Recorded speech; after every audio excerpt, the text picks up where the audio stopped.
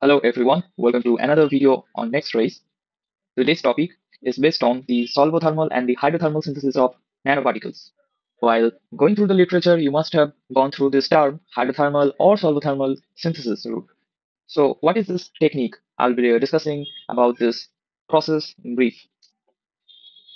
So this is the image of a stainless steel unit which is used for this reaction process. Inside this unit, there is a Teflon lined vessel the polymer name of this Teflon is polytetrafluoroethylene. Here you can see this is the structure of this polymer where there is a carbon fluorine bond and this is the repeating unit.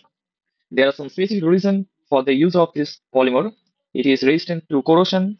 It can work in all type of pH range, whether it is acidic or basic, and it can also withstand a high temperature, which is commonly required for this type of synthesis process.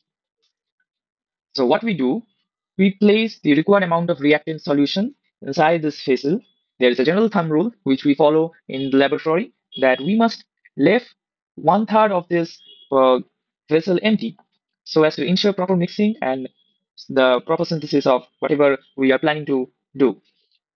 We use this upper gasket and lower gasket to cover this vessel and we place them inside this stainless steel vessel and we enclose them with this we use lastly we use the locking rod to tighten this chamber and we place it inside the furnace. Or oven which we use whatever is available in your lab and we place it at a certain temperature for a stipulated period of time which we uh, which you require for your synthesis process.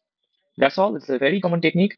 If you are carrying out research in chemistry and you have to synthesize nanomaterials you must go through this synthesis process Thank you everyone. It has been a very long time since my last video. From now on, I will try to post regular videos in my channel. Thank you.